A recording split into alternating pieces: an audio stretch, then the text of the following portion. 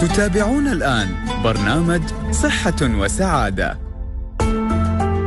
للمشاركة في البرنامج يرجى الاتصال على الرقم 600 55 14 14 أو عبر الرسائل النصية القصيرة اس 4006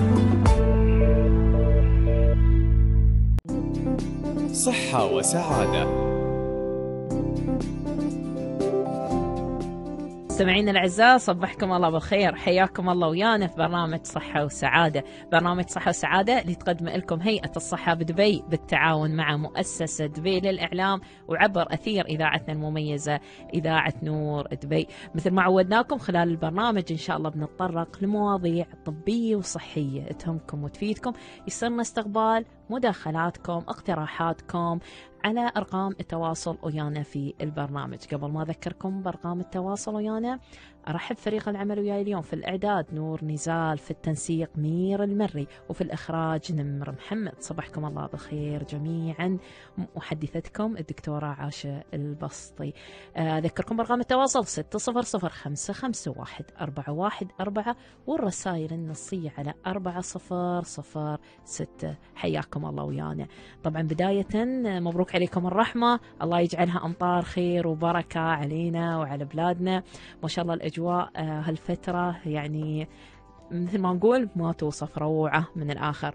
ف يعني إن شاء الله يدوم علينا هذا الجو الجميل خلال هذه الفترة إن شاء الله. نصائح خفيفة بالنسبة للناس اللي على أدوية ربو على أدوية معينة يفضل إنهم يستمرون على هذه الأدوية ياخذون احتياطاتهم خاصة بالنسبة للأطفال إن نركز على إن لبسهم يكون دافي ما يطلعون في المطر يلعبون يدخلون في مكان بارد يعني نركز على أشياء معينة إن شاء الله أساس ما تصير لنا أي ظروف طارئة أو ظروف معينة تؤدي إلى أن ما نستمتع بهذا الجو الجميل. مستمعينا مثل ما عودناكم فقراتنا تكون متنوعة ويانا بداية فقرة ال social media ويانا زميلتنا أسماء الجناحي. صبحت الله بالخير أسماء. صبحت الله بالنور والسرور دكتورة عليك وعلى كل مستمعين إذاعة نور دبي صبحت نور وسرور ومبروك عليك الرحمة. الله يبارك فيك. والله الأجواء كل ما ينزل المطر أحس انه يعني أخيرا بدينا نشتي في الدولة. الحمد لله. شوفي سبحان الله إحساس البرودة شيء يعني حلو خاصة الأجواء الباردة. عندنا يعني سبحان الله تحسين يعني تكون سبحان الله سعادة وبهجة تكون للجميع.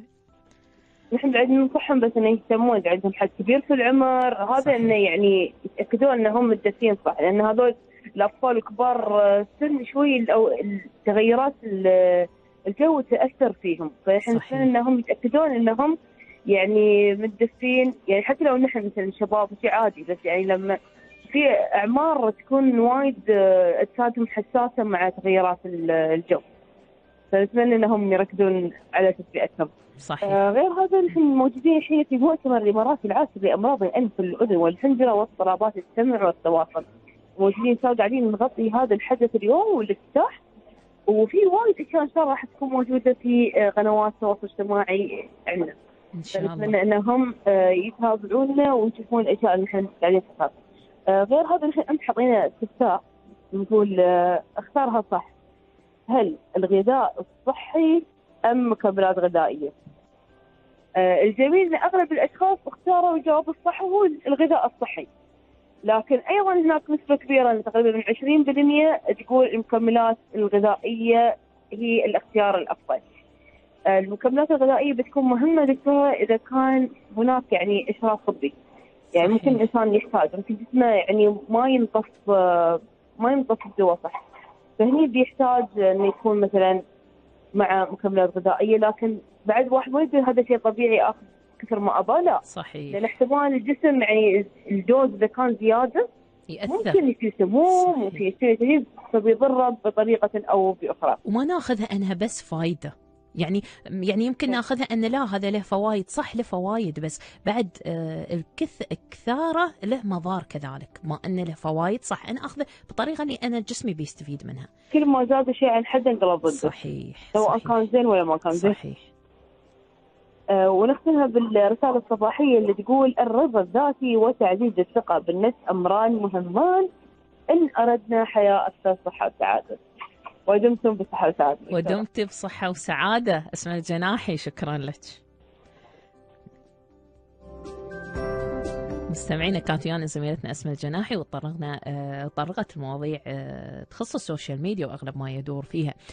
طرقت يمكن موضوع جدا مهم اللي هو ال- بالنسبة للمكملات الغذائية، صحيح يعني نسبة كبيرة منا نحتاجها ونحتاج نضيفها حتى لوجباتنا اليومية أو كذلك لحياتنا اليومية. بس كذلك ولها فوائد كثيرة، يعني لو نسمع عن أشياء لها فوائد كثيرة، بس بعد نحتاج أن ناخذها في آم، مضمون أو في محيط معين يعني ما أكثر منها إذا ما أحتاجها ما آخذها آه، ما آخذها على كيفي وبالجرعات الزايدة. يعني آه، فرضا آخذ فرضا قلنا واحد من الفيتامينات. ما أخذ بجرعات هاي الجرعه اللي موصى فيها يوميا. خلاص ما أزيدها. إذا أنا مريض أو عندي مشكلة فيها أو عندي نقص فيها بتكون جرعات مختلفة. حتى طريقة آه، أخذ هذا الدواء تكون مرات مختلفة. بدل ما تكون كحبوب أو شراب أو تكون عن طريق الحقن في آه، في حالات معينة. في حالات معينة بتحتاج مكملات غذائية بصورة دائمه هذا معروف. على أدوية معينة تسبب عدم امتصاص هذه الم- المكملات أو على يعني عنده جراحة معينة مسوينها أو عنده مرض معين مسوي صحيح يحتاج كميات كبيرة. بس في حالات معينة ما تحتاج هذه الكمية الكبيرة. يعني إذا استخدمها ك يعني خذها من مصدر غذائي تكفيه وتكون آه، في حاجة يكون خذ حاجته الأساسية. مستمعينا نطلع بخصوص آه، نطلع من آه، موضوع السوشيال ميديا لموضوع ثاني وهو دراستنا. مثل ما عودناكم عندنا دراسة آه، خلال فقرة البرنامج واللي اليوم بتتكلم عن التعرض للتلوث قبل الولادة يتسبب بارتفاع السكر خلال الطفولة. أظهرت دراسة طبية أن الأطفال اللي يتعرضون لتلوث الهواء وهم لا يزالون في الأرحام معرضون لارتفاع مستوى سكر الدم خلال الطفولة مقارنة بغيرهم. مضيفة أن التلوث بالجسيمات الدقيقة قد يكون من عوامل الخطر البيئية وراء الإصابة بالسكري. وركز الباحثون على ما تسمى بالجسيمات الدقيقة 2.5 أو 2.5 وهي مجموعة من الجسيمات الصلبة والسائلة قطرها أقل من 2.5 مايكرومتر ومنها الغبار والأتربة والدخان. وارتبطت هذه الجسيمات في السابق بالإصابة بأضرار في الرئة وزيادة مخاطر الإصابة بأمراض القلب والسكتة الدماغية والسكري. وشملت الدراسة 365 طفل بمدينة مكسيكو سيتي. تعرضوا لمستويات تلوث بالجسيمات 2.5 بلغت 22.4 مايكروغرام يوميا في المتوسط لكل متر مكعب من الهواء في فترة الحمل وهي أعلى بكثير من مستوى 12 مايكروغرام اللي تحددها الجهات التنظيمية المكسيكية. وأوضح الباحثون أن تعرض الأطفال وهم أجنة للتلوث بالجسيمات بهذا المستوى ارتبط بزيادة سنوية بنسبة 0.25 في الهيموغلوبين للسكري اللي هو ال HbA1c لديهم بعد جا- تجاوزهم سن الخامسة وحتى السابعة. وقالت الدكتورة إيميلي أوكن من جامعة هارفارد في بوسطن التي شاركت في إعداد الدراسة أنه توجد عدة تفسيرات محتملة للتأثير المباشر للتلوث على مستوى سكر الدم لدى الأطفال. منها أن التلوث سبب قدرا كبيرا من الالتهاب ونحن نعلم أن التعرض لمسببات التهاب أخرى قد تؤثر على تطور الأعضاء ووظائفها مثل المخ والبنكرياس والكبد والعضلات والدهون وكلها تشارك في تنظيم نسبة السكر في الدم بطريق بطرق لها آثار طويلة الأمد. وهذا واحد كذلك من الأشياء اللي اكتشفوها بخصوص بخصوص آه، آه، التعرض للملوثات أو التعرض كذلك للملوثات البيئية عموما يعني ومنها ذكر الغبار آه، في فترات حتى الحمل يعني الطفل توصله حتى يوم يكون بعده في في رحم أمه يعني بعد ما طلع على هذه الحياة. وتأثر سلبا مستقبلا يعني الواحد قد ما يقدر يبتعد عن الأماكن اللي تكون فيها تلوث وحتى لو كان يعني مكان عمله أو مكان سكنة يعني حتى لو مرة أو مرتين في الأسبوع يطلع على مكان تكون التهوية فيه أكثر تكون نسبة التلوث سواء بالنسبة للغبار بالنسبة للدخان وهذه الأشياء كلها تكون أقل وهذه الحمد لله متوفرة في كل مكان حتى لو الشخص قاعد في مكانه والمكان أصلا وايد يتعرض لتلوثات خارجية كثيرة. مستمعينا طالعين فاصل إن شاء الله وراجعين لكم. خليكم ويانا. صحة وسعادة.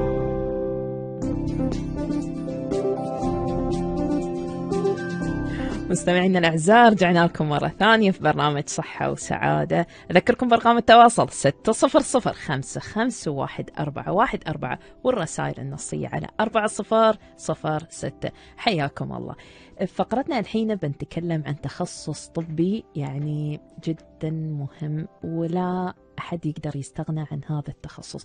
هالتخصص يعني ينقذ وما زال يعني أنقذ ولا زال ينقذ أرواح ناس كثيرة وتدخله يلعب دور كبير في حياة ناس كثيرة. وفي كذلك مثل ما نقولها البروجنوزز أو حتى في فائدة العلاج تكون آه، أسرع وأسرع.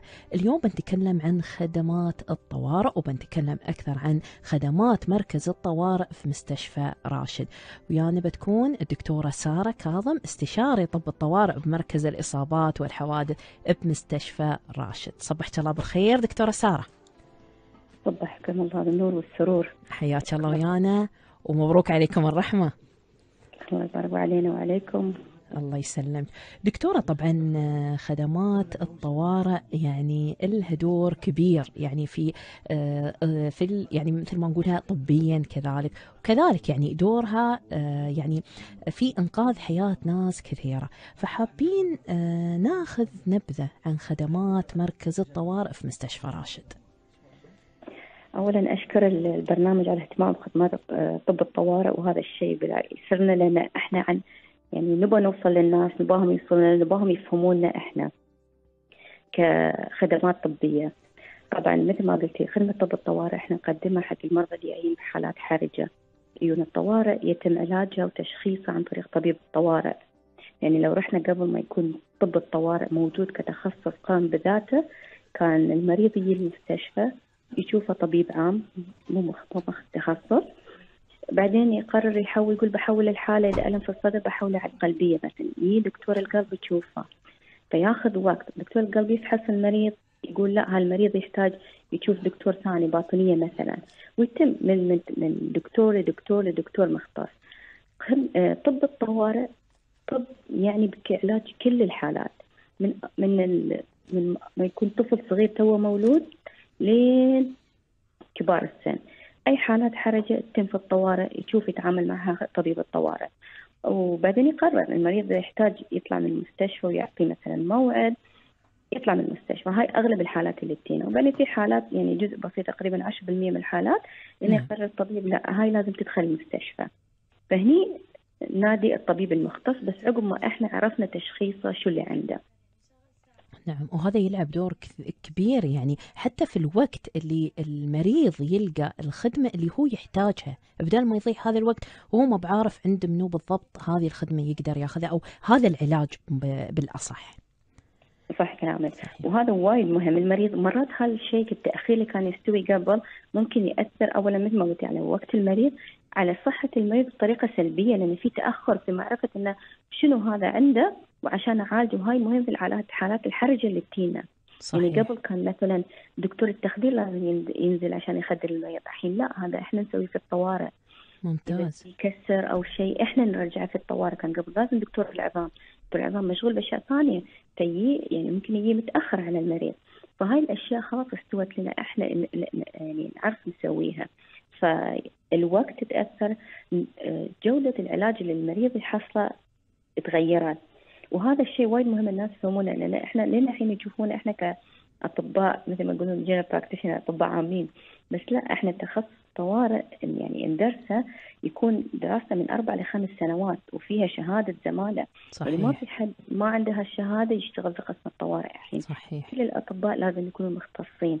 يعني حالة حالة القلب الباطنية فهي هذا هو. وكذلك دكتورة يعني يعني ال- يعني آه، طريقة حتى م- تعاملكم مع المرض نفسه يعني تختلف عن أي تخصص ثاني لأن هذا أصلا روحه آه، تخصص بذاته. هي لأن الحين لو رحتي مثلا ال- الأقسام الثانية المريض جاي بموعد يشوف الدكتور أو متنوم في المستشفى فالدكتور يعرف شنو صحيح. يعني إحنا المريض يجينا ما نعرف شنو فيه. صحيح. مرض حتى ممكن نبدأ بعلاجه بعدين تطلع التحاليل. ونعرف. فهذا الشيء يعني آه، اللي اللي مثل ما يقولون الحالات التخصص يعني. تح- يتحدى وبالعكس نحب ندخل هالتحديات. ويعني لأن تشوفين التأثير اللحظي على صحيح المريض إنه يتغير سواء كان عنده ألم كسر صعوبة في التنفس في العلاجات. لما نبدأها التاثير اللحظي هذا وايد يعني يريح الواحد ويعطيه مثل ما تقولين دافع إيجابي. صحيح. سواء للمريض أو سواء حتى كذلك للطاقم الطبي والطبيب كذلك. لأن صحيح. المريض يتألم.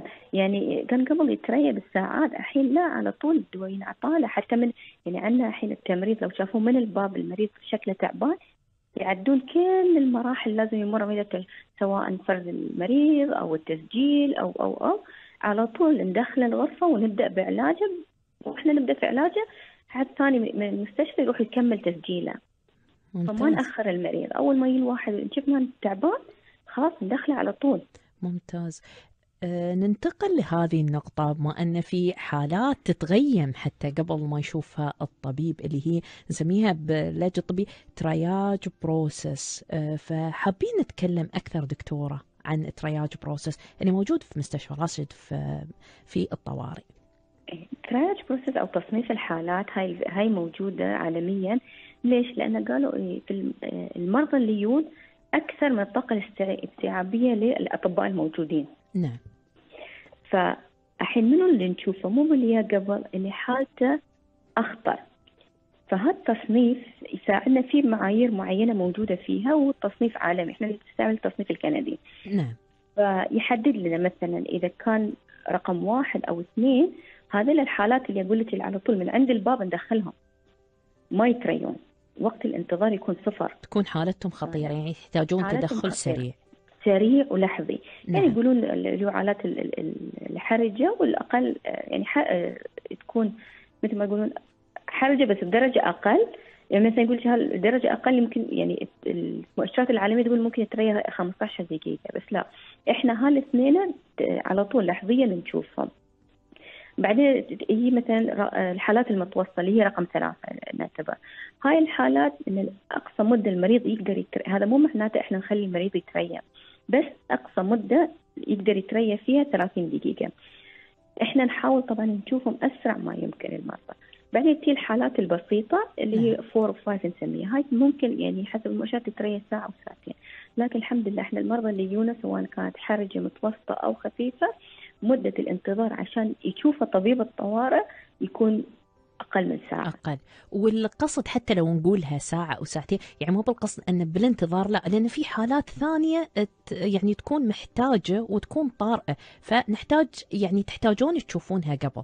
وإن شاء الله تكون يعني أقل حتى يعني نفس ما ذكرتي دكتورة سارة أن أقل حتى عن الساعة تشوفون هذه الحالات اللي هي أربعة وخمسة. إيه نحاول. ومرات شو نسوي؟ مثلا في يعني إحنا قاعدين يعني في طرق آه، كثيرة قاعدين نحاول نسويها الحين إن نخفف أو نسرع في مثلا تحاليله، الحين إحنا في الطوارئ عندنا مختبر خاص لنا اللي بس يسوي تحاليل مرضى الطوارئ، اشياء قسم اشعه خاص. عندنا اشعه CT واللي هو يسمونه ال X-ray موجود في قسم ال- ال- الانعاش اللي عندنا. نعم. وفي واحد ثاني في قسم الطوارئ. فهذين مخصصين بس حق مرضى الطوارئ. مرات يجي المريض قبل ما يدخل على الدكتور يكون عنده مثلا يبين إنه عنده كسر. في دكتور مبدئيا يروح يعطي يعني مثلا إذا يحتاج مسكن يأخذ المسكن يقول له روح الأشعة مثلا. ويخلص الأشعة يوميا يتريى دوره خلاص الأشعة طالعة. ما يحتاج يسوي زيارة ثانية حق الأشعة. لأن الحين بيشوف الدكتور الدكتور بيطلع. صح استغلال. دكتور صح. أولي شافه يعني ممكن ما شاف كل شيء بس إنه طلب ال- التحاليل اللي اللي نحس انها موجوده طبعا في معايير معينة لأشياء معينة ان هاي. التحاليل مثلا العرض الفلاني هاي التحاليل مناسبة حقها. واحد يبين إنه في كسر خلاص إنه هذا بيحتاج أشعة. بوديه الأشعة ويجي غرفة الانتظار يتريى الدكتور يكون كل شيء جاهز. ممتاز. التحاليل جاهزة. ممتاز. فهلا هاي الشيء اللي قاعدين ال- الإنسان نطبقه الحين وعشان نسرع إن المر- المريض يشوفه ممكن بعض الناس يقولون مثلا الدكتور متأخر شافنا بس في دكتور قبل بدأ بمثلا علاجه. صحيح. إنزين بيكمل علاجه عند الدكتور داخل. صحيح ممتاز. في مداخلة دكتورة سارة بناخذها. السلام عليكم. عليكم السلام ورحمة الله وبركاته. صبحك الله بالخير أخويا. خير انه يا مرحبا بكم الله لي فترة يسلمك. ما شاركتكم. الله يحييك حياك الله أي وقت. الله يحيي الله يسلمكم. وماجورين على اعمالكم كلها هاي طبية إنسانية. الله رغم إن في بعض ال- في أغلب المستشفيات أو العيادات الخاصة أصبحت المهنة تجارية مثل التعليم التجاري وغيره وغيره. بس الحمد لله ما شاء الله تبارك الله يعني يعني خدمات هيئة الصحة ممتازة. الحمد لله الحمد لله وهي شهادة نعتز فيها. نعم. أص- آه، يقول في كل حله إلا بس الحمد لله يعني يعني الطيبه آه، يعني طبع الغالب على هيئة الصحة طيبتهم وتعامل حسن تعاملهم. الله يخليك أخويا وأحب أشكر بالذات آه، يعني بشكل عام هيئة الصحة وبالذات اللي آه، الموظفة يسمونها منى العبيدلي هاي الصراحه ما تقصر. يعني تأدي واجبها وفوق واجبها بزيادة. وفي دكتورة يسمونها الدكتورة آن بعد عندكم في نادي الحمر. نعم. يعني هذه ما شاء الله عليهن الهنتين يعني يقدم واجباته وزيادة. إن شاء الله. واجب بلس. بنوصل إن شاء الله آه، هذا الشكر. الله يسلمك وعندي. اقتراح بالنسبة ل- يعني أساس يخف الضغط على الدكاترة. يعني حبذا لو مثل هاي الخدمة اللي مقدمينها مثلا أول ما يدش المريض ياخذون فحوصات عنه اشعه وغيرها هاي توفر وقت. زين؟ ووقت الطبيب بعد أول مرة يشوفها ثاني مرة يشوفها. هاي- تختصر. هاي شيء طيب. والشيء الثاني آه ليش ما يتم تأهيل ال- الممرضين أو اللي يحب يعني يدخل في الطب؟ بدون ما يدرس خمس سنوات يدرس شيء معين. الحين اللي نشوفه مثلا الدكتور دارس مثلا خمس عشر سنوات في جزئية معينة. يعني هذه الجزئية تحتاج إلى ممارسة. الواحد بي يعني بيهضمها. بيقدر عندنا على سبيل المثال قبل عندنا هنا الدكاترة كانوا يشتغلون نيرس عند الدكاترة الإنجليز زين تعلموا منهم شوي شوي اصبحوا آه، الدكاترة يعالجون بروحهم وكفى عليهم وياي؟ وياك أيوه إيه. طبعاً. وياك يعني أنا أقول يعني حبذا لو تم تأهيل ب- ب- الممرضين والممرضات زين وبعض الراغبين من غيرهم من خارج ال- الهيئة الط- الطبية يعني شيء ممكن يتعلم يتم تعلمه يعني خلال فترة وبالممارسه الواحد يعني يهضمه صحيح يعني بنتكلم وبنشرح لك أم، في أشياء معينة يعني تكون يعني الشخص لازم يكون مؤهل لها على أساس يمسك إيه. أي لا أنا ما أيوة. العمليات. حتى لا، لا، العمليات لا. ممكن الواحد يعني على مر ال- ال- الأيام بالممارسة وهذا ممكن الواحد يعني يعني يعني يتقنها. بس أنا أقصد يعني الطب بشكل عام مثلا العين مثلا الأنف والأذن والحنجرة والحمى وغيره وكذا والأشياء مثلا هاي من البداية ممكن الواحد يتعلمها. في أشياء كبيرة ممكن يعني تبغى لها دورات شوية وخلاص. يعني يصبح يعني في متناول الجميع. يعني كل واحد يقدر مثلا يمرض نفسه يمرض أهله يمرض كذا. إن شاء الله يعني بنتحدث. هي وياك. المعلومة؟ صح وضحت المعلومة. إيه، والشكر اللي قدمته ل- الهنتين إن الاوليات شاء الله. منى العبيدلي والدكتورة آن. الدكتورة آن نعم. إن شاء الله. ند الحمر. إن شاء الله. هاي صراحة يعدل واجباتهم وبلس. ما شاء الله. شكرا على يسلمك. شكرا على. مداخلتك. السلام عليكم. مع عليكم السلامة. السلام. الله. يعطيك العافية. آه، دكتورة سارة بالنسبة لمداخلة آه، أم، أخونا بخصوص آه، بخصوص تأهيل أحد من الممرضين لممارسة آه، يعني أو تأهيل حد من الطاقم الطبي لممارسة هذه يعني في أشياء معينة آه، يقدر يسويها إيه. خلال التقييم أو للمريض. إيه فهذا هو الشيء يعني بالعكس المبادرة حلوة.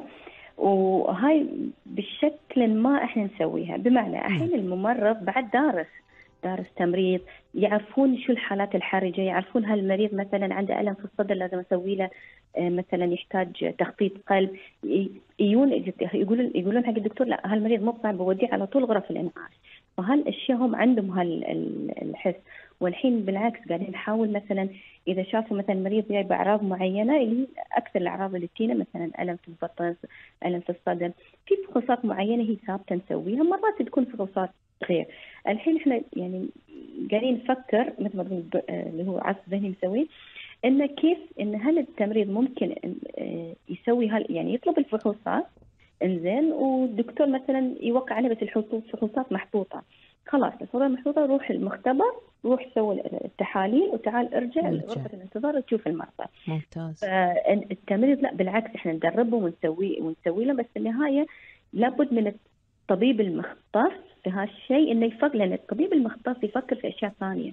أكيد. آه مثال ألم في البطن. عند الجراحة بشخصه مثلا الزايدة. عند الباطنية ممكن يعالج يشخصه مثلا التهاب في البنكرياس أو حموضة في الدم اللي هو الدي كي نسميها. نعم. وعند النسائية ممكن يكون حمل خارج الرحم. فكل واحد صحيح. حسب تخصصه يفكر بأشياء. لكن طبيب الطوارئ يقدر يفكر فيهم كله ويحاول يفرزهم. شو هالحالة بتكون؟ صحيح. وهذا ف- بيختصر اشياء وايد على المريض إنه يتلقى العلاج المناسب له في وقت يعني يعني وقت معين أو محدد. إيه فهاي التمريض بالعكس إحنا يعني فريق واحد ونحاول يعني هاي شو السؤال فيها؟ تراخيص طبيه ولازم نشوف شو ال ال ال يعني ال صحيح. القانون مثلا شو يقول؟ لكن القانون يسمح بس إحنا يعني قاعدين نحاول ان نعلمهم.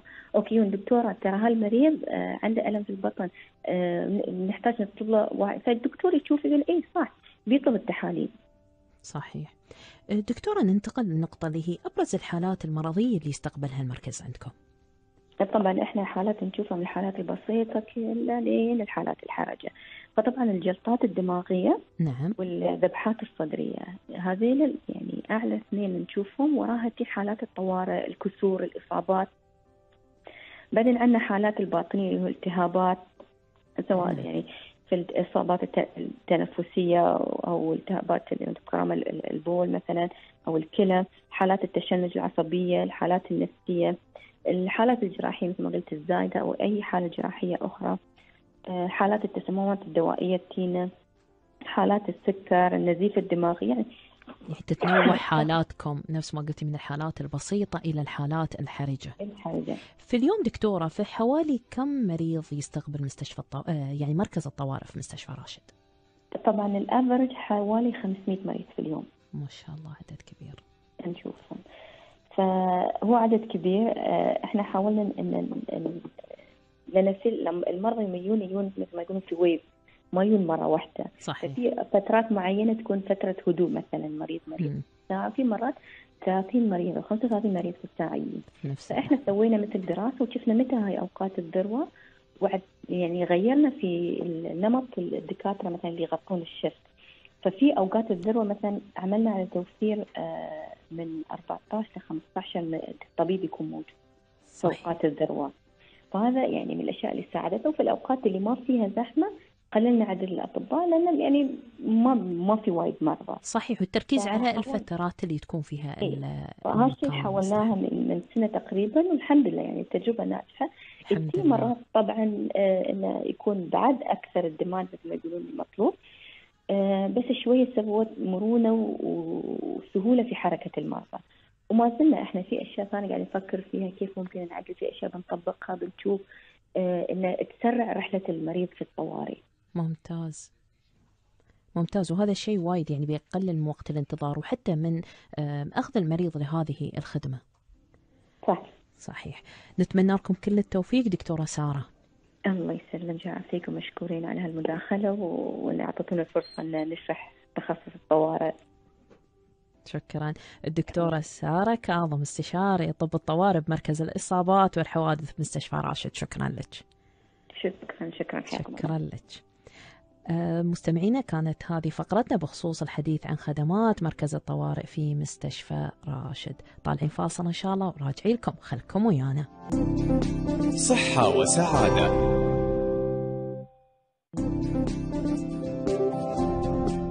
مستمعينا الأعزاء رجعنا لكم مرة ثانية في برنامج صحة وسعادة. أذكركم برقم التواصل 600 ورسائل النصية على 4006 حياكم الله. فقرتنا الحين بنتكلم عن الحديث عن كيفية التعرف على المسن المكتئب. وهذا الصراحة يعني له دور كبير فإن الشخص يتعرف إذا الشخص مسن عندك وعنده بداية اكتئاب أو حتى اكتئاب مرات الأعراض ما تكون واضحة بالصورة آه يعني اللي متعارف عليها. فأول ما نتعرف على هالشيء وكانت الأعراض خفيفة يعني حتى سهولة التعامل وسهولة العلاج تكون أكثر عن إذا كانت الحالة متفاقمة أو تكون الحالة يعني استمرت فترة طويلة. بنتعرف على هذا الشيء مع الدكتورة زينب فتحي السيد أخصائي طب المسنين بمستشفى راشد. صباح الله بالخير دكتورة زينب. صباح الخير. أهلا دكتورة صباح النور. أهلا أهلا بك آه، دكتورة طبعا آه، واحدة من أهم الأعراض آه، يعني من أهم ما نقول الأعراض بس آه، نعرف في المسنين مرات يتعرضون لحالات الاكتئاب. ف ومرات ما تكون هذه العلامات واضحة. فحابين نتكلم أكثر عن هذا الموضوع. بالنسبة لاكتئاب المسنين هو الفرق مثلا من المسن لل- للسن الصغير. نعم. إن المسن ما بيجيش آه، يبلغك ان هو مكتئب. صحيح. آه، يعني مش هيجي آه، يشتكي يقول أنا حزين أو زعلان أو أنا مكتئب أو عندي مشاعر. آه، ما يدل فيها ال- الاكتئاب. الأعراض بتاعت المسن بالنسبة للاكتئاب تختلف بشكل كبير عن الأعراض بالنسبة للإنسان العادي سنه صغير نعم. آه، ال- ال- الوضع ده لأن هو بيشوف المسن أو لما بيكون الوالد أو الوالدة بيوصل لمرحلة عمرية معينة ما بيشوف إن هي مش آه، آه، مش منطقي إن أنا أجي وأشتكي آه، دي صحيح. رقم واحد. آه، لو عنده مشاعر الحزن. لأن بي- بيبقى شايف إن الموضوع ده آه، كبير إن هو يجي يشتكي يقول حاجة زي دي وهو كان اوريدي الناس كلها معتمدة عليه. آه، فالأعراض اللي, اللي بنلاقيها بنواجهها ولازم أهل ال ال ال الاهل سواء ال- الزوجة أو الزوج أو الأولاد أو أي طرف بياخد بياخد باله أو مقيم على الرعاية بالنسبة للمسن ياخد باله منها عشان خاطر دايركت يتوجه للطبيب عشان يعمل له آه، فحص بالنسبة للحالة النفسية والحالة الطبية دي. آه، من أهمها آه، قلة النوم نعم قلة الأكل أو عدم وجود شهية آه، العزوف عن النشاطات اللي كان بيعملها أو متعود يعملها بشكل دوري. والمزاج الحزين آه، من غير داعي من غير ما يكون في سبب واضح. العزلة التهجم أو آه، يكون عصبي زيادة عن اللزوم على غير طبيعته. استخدام بعض الألفاظ اللي هو ما كانش أساسا بيستخدمها قبل كده. آه، البكاء من غير سبب واضح. آه، وفي الحالات الشديدة ممكن يوصل إن هو يتمنى الموت. آه نعم. أو إن هو يبتدي يقول عبارات إن أنا أنا عبء عليك أنا أنا مضايقكم أنا ما بقتش زي الأول. آه، دي من أهم الحاجات اللي هي الأعراض اللي هي تدل إن في اكتئاب. نعم. في حال وجود الأعراض ديت المفروض آه، يتوجه على طول لل- للطبيب. صحيح. الأخصائي في طب المسنين بحيث إن هو يقدر يعمل له ال- ال- الفحوصات والاختبارات النفسية اللي آه، اللي بيها يقدر يستوعب إذا كان المريض دوت عنده اكتئاب فعلا ولا في أعراض مصاحبة أخرى. لأن ممكن ال- المزاج ال- ال- اللي هو إحنا بنسميه لو مود صحيح. المزاج المكتئب. نعم. آه، ممكن يكون سببه بعض الأمراض العضوية آه، صحيح. زي مثلا آه، قصور في الغدة الدرقية واللي وارد إن هي بتحصل مع كبار السن. ما بتبانش زي ما بيكون واحد برضه شاب صغير هيجي يشتكي من الأعراض. صحيح. أسباب ال- اللي ممكن اللي بتدور عادة بالنسبة لل- للاكتئاب بالنسبة للمسنين آه، بتبقى أسبابها آه، تدور عادة حو- حول الفقد سواء بقى فقد شخص عزيز آه، فقد العمل آه، فقد السلطة فقد آه، ال- ال- المسؤوليات اللي هو كانت آه، صحيح كانت عليه. عليها. آه آه، إحساسه بأن هو بقى دلوقتي عبء على غيره. آه، عدم المقدرة على المشاركة في بعض النشاطات اللي كان بيعملها. آه، طبعا ال- ال- وجود أمراض مزمنة آه، تعيقه عن إن هو يقوم بأداء آه، الواجبات العادية اللي هو ممكن آه، يعملها. ظهور مرض مفاجئ مثلا آه، أقعده. ما ما يقدرش إن هو يقدر ياخد باله. آه، من نفسه سواء للكير العادي آه، الاهتمام الشخصي. فيبتدي يحس إن هو بقى عبء على غيره بالنسبة للأشخاص اللي حواليه. نعم. فعشان ما يضايقش الناس اللي حواليه يبتدي ينعزل آه، ويتجه إلى آه، ال- المزاج المكت- المكتئب. آه، مهم جدا إن إحنا نعالج المزاج المكتئب أو ال- الاكتئاب عند المسنين لأن من غير ما يحسوا ده موجود ع- يعني بيكون في العقل الباطن عندهم من غير ما يكونوا هم قاصدين. آه، لما بينعزل وبينقطع عن يبتدي إن هو ممكن ينقطع عن الشهية مع آه، بيوصل لسوء التغذية سوء التغذية توصله إلى أمراض آه، الجفاف. وأمراض سوء التغذية. عزلته وإن هو يبقى قعيد ممكن يكون بيتحرك بس العزلة في حد ذاتها مش هتخليه يقوم بالنشاطات فيحصل ضمور. في العضلات. وإمكانياته إن هو يقدر يمشي زي الأول أو يتحرك زي الأول بتبقى أضعف. ده في حد ذاته هيدخله في بعض المشاكل في تيبس لل- للمفاصل ضمور في العضلات. لو أصبح قعيد ممكن يدخل في مشاكل تقرحات الفراش وده بالتالي يؤدي إلى تدهور الحالة الصحية. صحيح. حتى الاكتئاب بيزيد عليه أكثر. آه طبعا. مم. كل ما يعني إحنا م- يعني لو ما حاولناش نعرف أو نحس بيهم بالشكل السليم آه، هو مش هيجي يقول.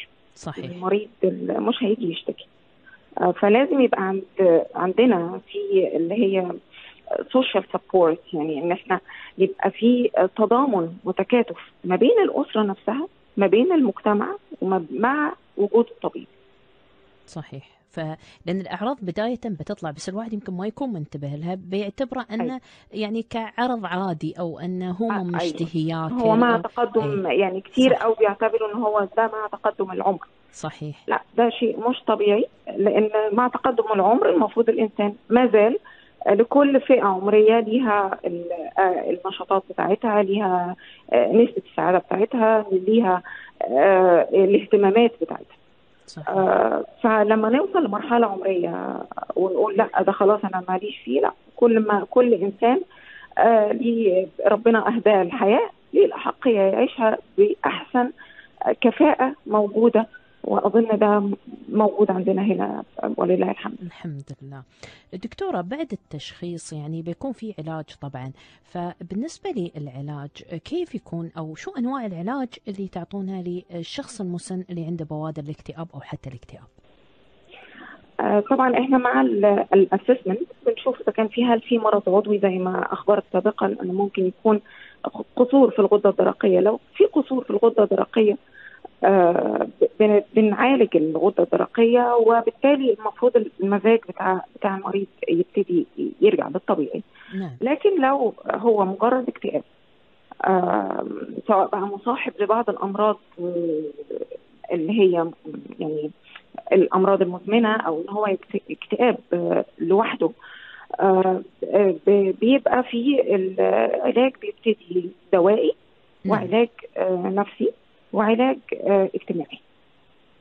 آه، العلاج الدوائي آه، بنبتدي بأدوية مضادة للاكتئاب بيستمر عليها المسن إذا كان فقط ال- ال- العلاج يعتمد طبعا على درجة الاكتئاب اللي هو جاي بيها.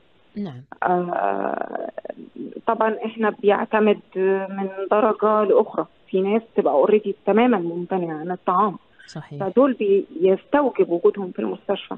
عشان نقدر إحنا نبتدي معاهم بالعلاج بحيث ان يقدروا ياخدوا الأدوية. لأن اللي بيمتنع عن الطعام بيمتنع عن الأدوية بتاعته كمان أكيد. آه واللي م... آه ك... كبداية الاكتئاب بنبتدي معاه بالعلاج الدوائي آه، مع المسنين عشان كتير قوي من الناس بتخاف من العلاج الدوائي بالنسبة لل آه، لل صحيح. للمسنين. مسن إحنا بنبتدي بجرعة بسيطة وبناء عليه بن- بنبني الجرعة على حسب استجابة المريض واحتياجه ليها. نعم.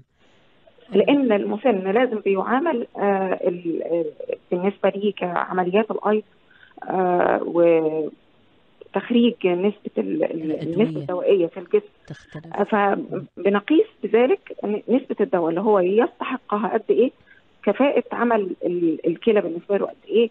هل في أعراض جانبية ولا لأ؟ وبناء عليه بنحط الدواء على حسب آه، من من من مريض لاخر حسب استجابته حسب الامراض المص- المصاحبة ليه. ممتاز. وبندي تعليمات طبعا لل- للأهل إن هم يبقى في social support أكتر ما يبقاش معظم الوقت قاعد لوحده. نعم. المشاركة في طريقة التعامل آه، ما يبقاش إن إحنا بنديله أي أي أي تعامل آه، مختلف. بشكل اوردرز أو إنك أنت أديله إن هو ده واجب لازم يعمله لأ إحنا نبتدي بنفسنا. ون- و- على سبيل المثال مثلا أنا في شيء إشكالية عليا مثلا في نقطة معينة يا ابويا ده أنا دي أنا مش عارف أوصل لها تقدر تساعدني فيها في حلها في صحيح، نبين دورهم. أيوة. نبين أيوة. دورهم طبعا بحيث إن أنت ما زلت في حاجة آه، ليه صحيح وما حد سبحان الله ما حد يقدر يستغني عن خبراتهم يعني خبراتهم هذه يعني ما أخذوها بس من غير أخذوها من دروس في الحياة يعني ما حد يقدر طبعاً. يستغني عن لا، خبراتهم لا. كذلك خبرات ال- ال- المسنين آه، الوالد أو الوالدة أو سواء بقى الخال العم في والله أنا بشوف نماذج جميلة جدا في في العطاء من البر بالنسبة سواء بقى للأباء أو للأجداد من من الأحفاد أو من الابناء. فكل ما كان في social support في ترابط آه، عائلي كويس آه، ده في حد النتيجة ذاته كذلك صح. النتيجة. النتيجة آم، تكون جدا ممتازة النتيجة يعني نتيجة يعني أن يعني مثل ما نقول تحسن الحالة المرضية للمسن أو. المريض كذلك. آه، فيستحسن عدم تجنيب آه، الوالد أو الوالدة. يعني نحطهم في ال situation مثلا ما نجيب لهمش المشاكل ونحل المشاكل فوق آه، قدامهم. صحيح. ما دي من ضمن الحاجات اللي هي ال social المفروض يبقى الواحد واخد باله منها. صحيح. آه، لما يكون رأي يعني محتاجين رأي نحط رأيهم هو أول حاجة ويبقوا حاسين إن رأيهم صحيح. هو دوت ال- اللي مستخدم وهذا يعطيهم آه، دعم ما نبعدش عنهم ال- النشاطات البسيطة اللي, بي اللي, اللي, اللي معتادين يعملوها. لأن كل ما بعد عن النش... عن النشاطات كل ما أدينا إن هو آه، حس إن هو مش محتاجين بيه زائد إن هو ده ممكن يجيب ضمور في الخلايا أساسا آه، المخية وبالتالي بيفقد الوظائف ال- ال- اللي المفروض كان بيقوم بيها بشكل عادي اعتيادي ويبتدي ينساها. فاحنا مش حابين ندخل في مشكلة نسيان مع الإكتئاب. صحيح صحيح. وهذه نقاط جدا مهمة. صراحة الموضوع دكتورة جدا مهم وداهمنا الوقت بس الحمد لله طرقنا لمعظم الأشياء فيه وخاصة ال- الجانب العلاجي. ونشكرك أنك ذكرتي شيء مهم اللي هو آه، دور الأسرة كذلك والمحيطين بالمسن كذلك في تحسن حالته سواء الصحية وكذلك النفسية. تمام. نتمنى لكم كل التوفيق دكتورة زينب. تسلمي تسلمي. شكرا جزيلا. دكتورة زينب فتحي السيد أخصائي طب مسني بمستشفى راشد شكرا لك. شكرا شكرا. مستمعينا كانت آه، هذه فقرتنا بخصوص الحديث عن كيفية التعرف على المسن المكتئب وتطرقنا مع دكتورة زينب كذلك للطرق العلاجية آه، لهذا المرض. طبعا وصلنا لنهاية حلقتنا لليوم. أشكر فريق العمل وياي اليوم في الإعداد نور نزار في التنسيق مير المري وفي الإخراج انضم لنا وائل الغواسمة. يعطيكم ألف عافية محدثتكم الدكتورة عاشة البسطي. إن شاء الله نلقاكم باكر على نفس التوقيت الساعة عشر. ودمتم بصحة وسعادة. صحة وسعادة بالتعاون مع هيئة الصحة بدبي.